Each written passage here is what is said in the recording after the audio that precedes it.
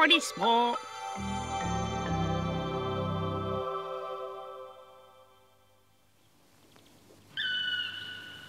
En gammel båt driver inn i sivet. Det er ingen som vet det.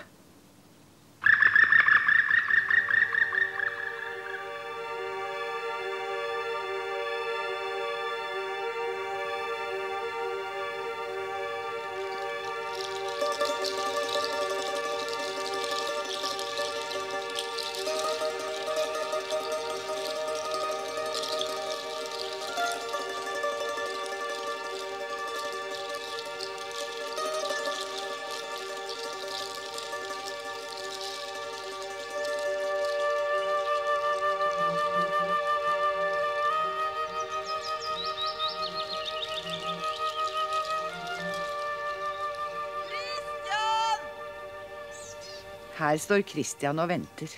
Christian! Det skal komme sommergjester til gårds. Kan du se dem? Nei. Hvorfor kommer de ikke? Kommer de ikke snart? spør han far. Og far svarer at ja, nei, ja, de kommer nok. Og sånn har han sagt i hele dag. Mye å Du. jeg smører traktoren.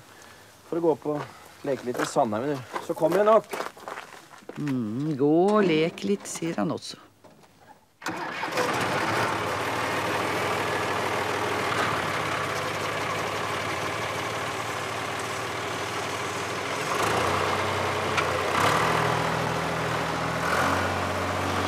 Silje heter sommergjesten som Christian venter på. Han kjenner henne ikke, men han håper at hun vil være med å leke. Det er derfor han har laget den fine bilbanen i Sandhaugen.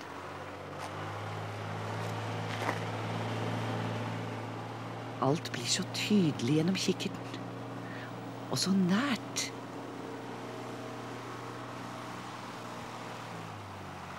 Det er fisk i vannet. Liker Silje å fiske, tro?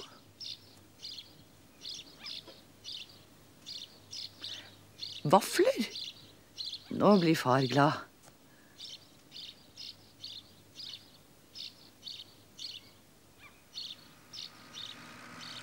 Neimen, bilbanen blir helt utydelig. Han må gå lenger unna.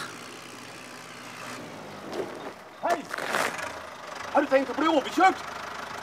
Kom deg ut av veien! Dette her er ikke noe alminnelig fortau heller.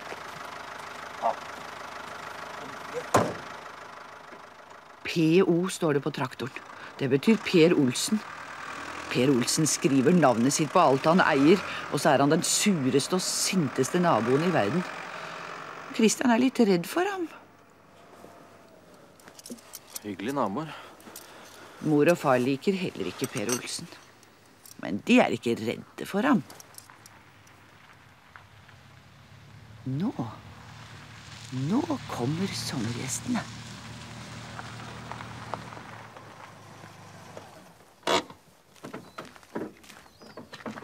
Hei, hei. Hei, hei. Velkommen.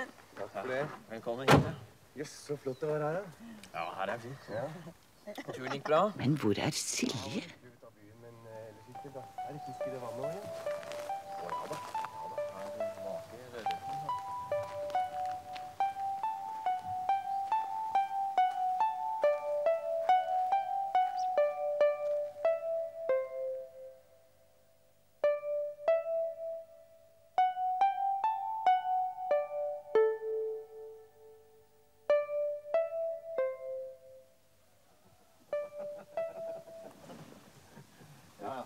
Hur blir barnen?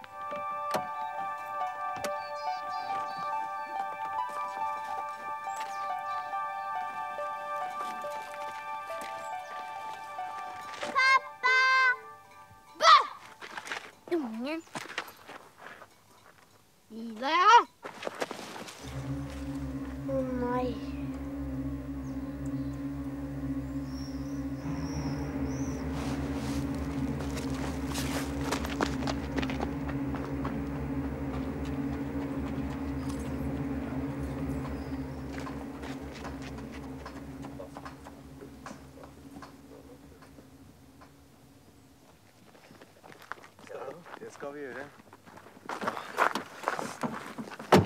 Så er det som sagt vafler etterpå. Ja, akkurat. Du ha.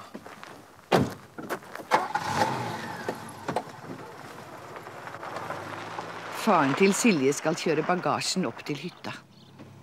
Det er der de skal bo.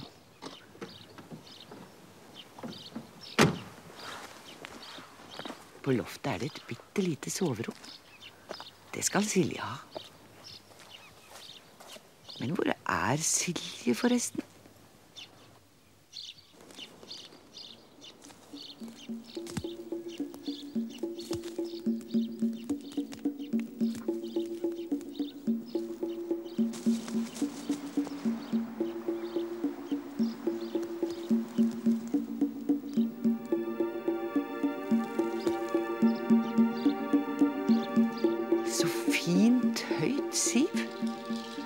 Nesten som en skog som snakker.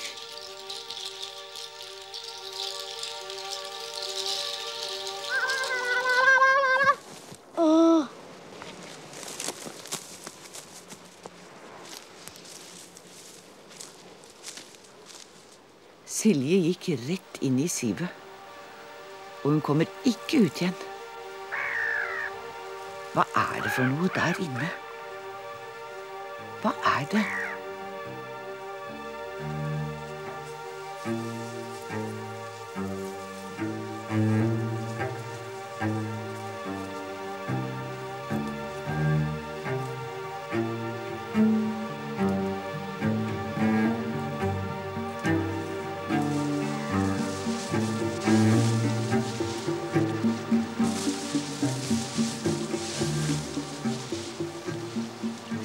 Silje har funnet en båt. Ida!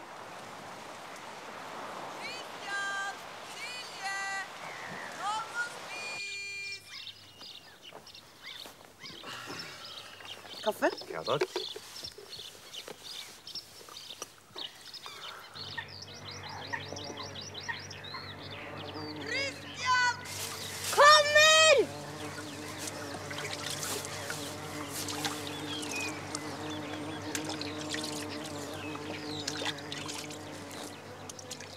Går vel ikke an å tømme båt med hendene.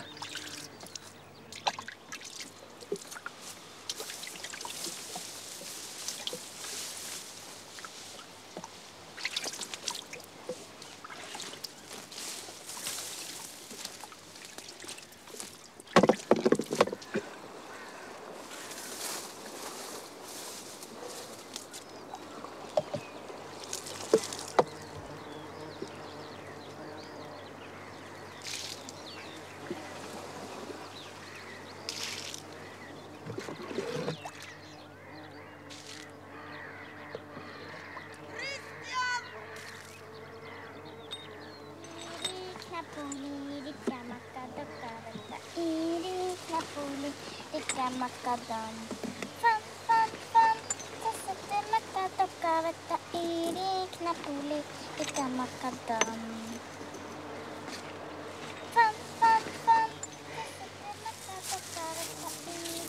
Hvorfor skal det bare være Siljes båt, tenker. Christian,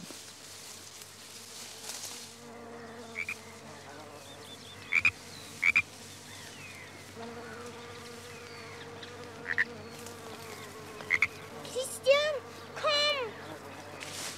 Fort deg! Christian, se! Ta den vekk!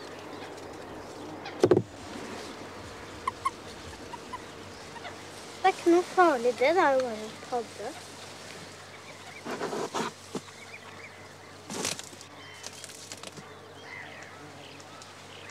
Vil du ha den? Ja.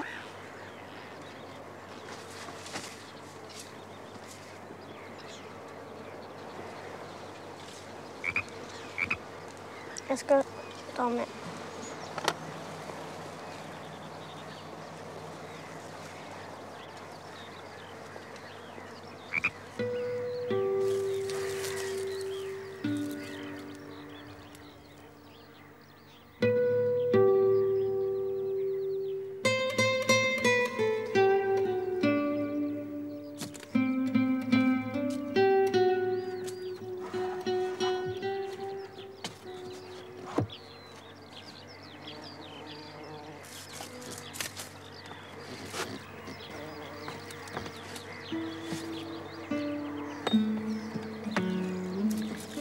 se på den.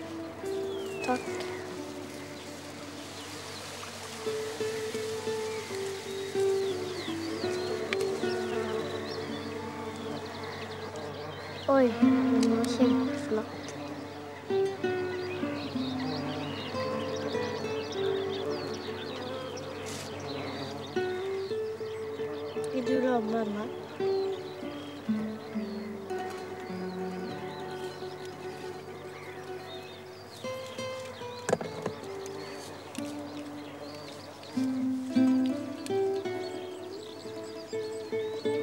Jeg er for nær. Du må vri sånn. Så må du se på noe lenger borte.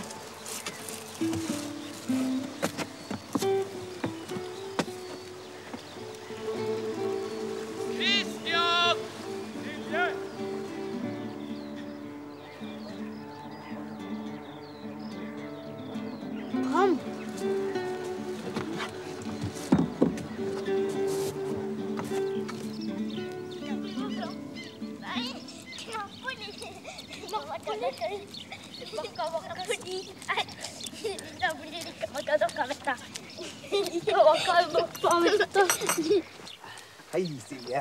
Oi, har du hatt det fint? Har du lyst på en vaffel? Ja. Sett deg her. Vær så god. Bare hele den en gang. Da er du sulten. Jeg tenker man sulten nå, Christian. Vil du ikke ha litt syltetøy på, Silje? Det er noen lam måter der, sånne halvvoksne.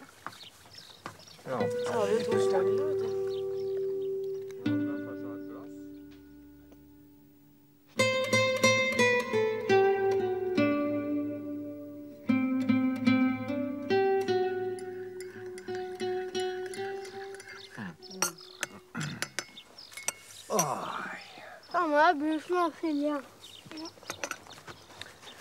Kristian, hvis dere skal ned og leke ved vannet, så må dere ha på dere redningsvest. Ja, det har du jammen rett i.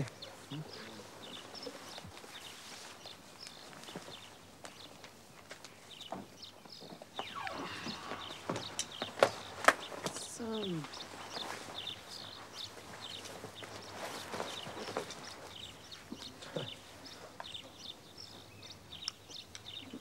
Nei, kom da, Kristian, så skal jeg hjelpe deg. Kristian, kan du ta med deg denne til Silje?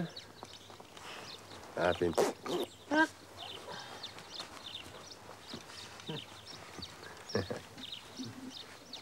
Se hva jeg fant. Hva skal du med den, da? Ha den i båten, vel. Her er redningsvesten din. Jeg holder til selv.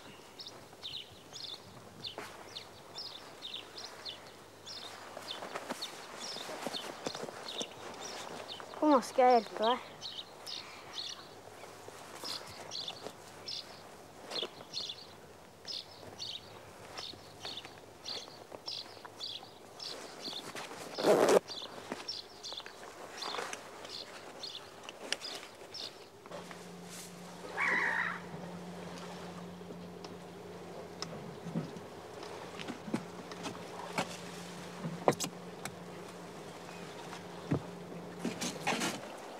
Ikke sant potten er søt? Mm.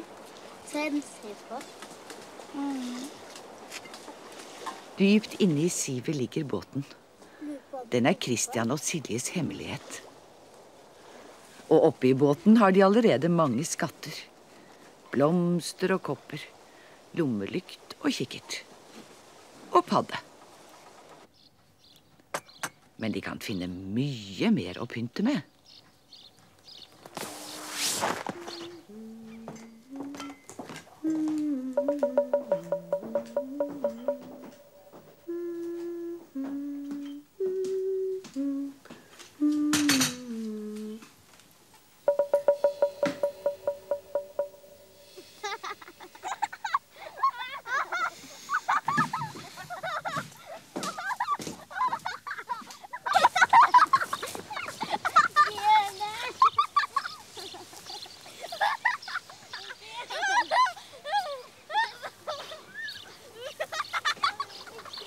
Er det de holder på med? La dem leke.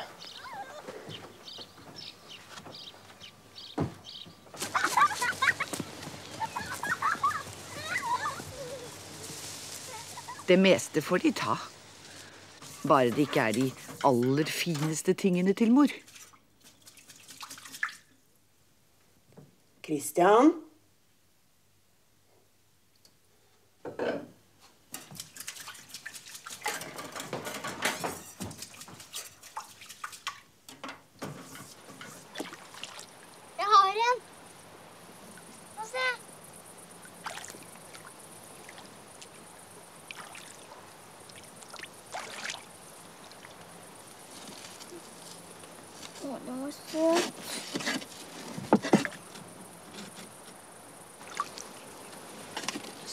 Syns min. Mm. I morgen skal det fange enda flere. Skal du? Mm. Da skal jeg prøve å fange flyndre. Kaffe? Ja takk.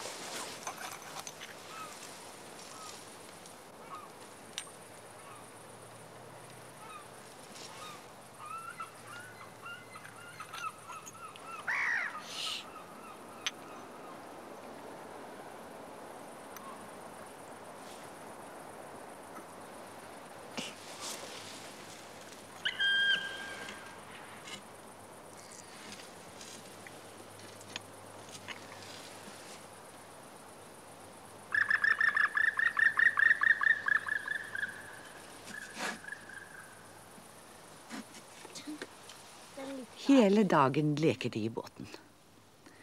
Helt til det blir kveld og mor roper på dem.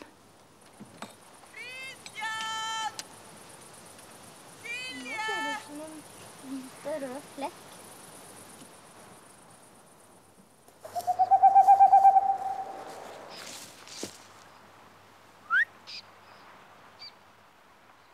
Er Silje der oppe?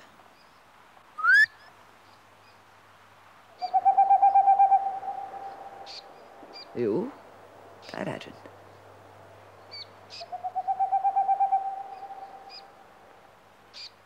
God natt, da.